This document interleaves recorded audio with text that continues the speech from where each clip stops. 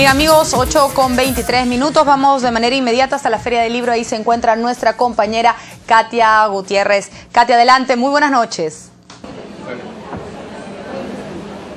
¿Qué tal Jessica? Muy buenas noches. Esta noche la Oficina Nacional de Procesos Electorales, OMPE, presenta en la 17 Feria Internacional del Libro el libro, el texto, el voto electrónico, la historia del voto electrónico en el Perú, pero este está comprendido en dos etapas y para que nos brinde más detalles sobre la presentación de este libro estamos precisamente con la jefa de la OMPE, Magdalena Chu. ¿Cómo está, señora Chu? Bienvenida a Canal N. ¿Cuál es la importancia del libro de la historia del voto electrónico, ojo, desde 1996 al 2004? Efectivamente, eh, la Oficina Nacional de Procesos Electorales desde su fundación se trazó como objetivo institucional eh, brindar, eh, trabajar en la parte tecnológica para brindar las mayores facilidades a los electores y reducir el trabajo de los miembros de mesa el día de la jornada electoral.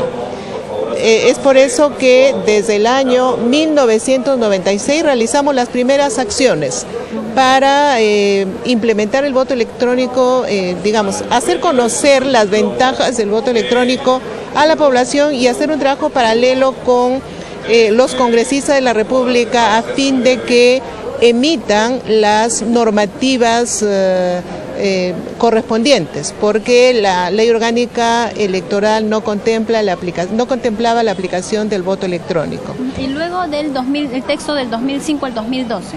Sí, del el periodo 1996-2004 eh, fue la etapa previa, ¿no? Que buscábamos nosotros que la población y los políticos comprendan la importancia del voto electrónico. En julio del año 2005 se aprobó la ley que autoriza a la OMPE a la implementación gradual y progresiva del voto electrónico.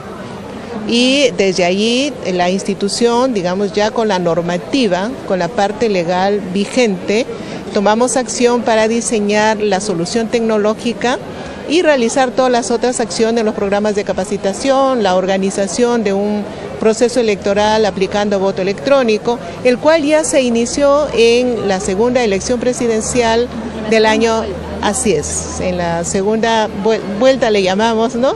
La segunda elección presidencial en el año 2011 en el distrito de Pacarán, provincia de Cañete. ¿Cuáles fueron los resultados? Eh, muy buenos, muy buenos porque... ¿Hubo receptividad de la población?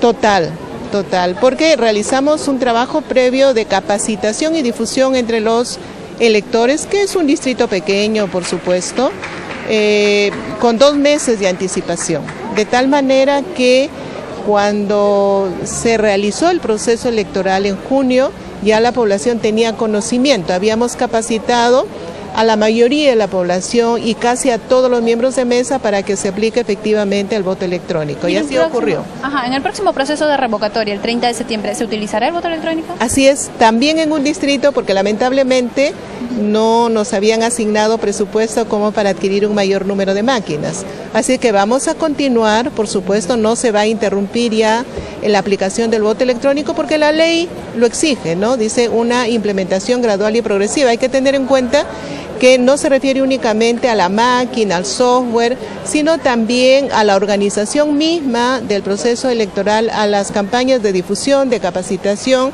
y por supuesto al perfeccionamiento de la normativa electoral. ¿En cuántas ciudades se usaría en el proceso de eh, En un solo distrito. Nuevamente vamos a tener votación electrónica en Pacarán, porque están pidiendo la revocatoria de las autoridades municipales. Ajá, paradójicamente. ¿Y se prevé entonces para el 2014 o 2016 ya simplemente mayoritariamente el voto electrónico? Masivamente, si es que eh, nos asignan el presupuesto correspondiente para la producción a economía de escala de las máquinas. ¿A quién corresponde eso? ¿Al Ministerio de Economía? Ministerio de Economía y que el Congreso apruebe el presupuesto. Bien, doctora Magdalena Chu, muchísimas gracias por esta importante información sobre la Oficina Nacional de Procesos Electorales que esta noche presenta el texto Historia del voto electrónico en el Perú, periodo 1996-2004 y 2005-2012. Jessica, contigo en estudios. Muchísimas gracias, Katia.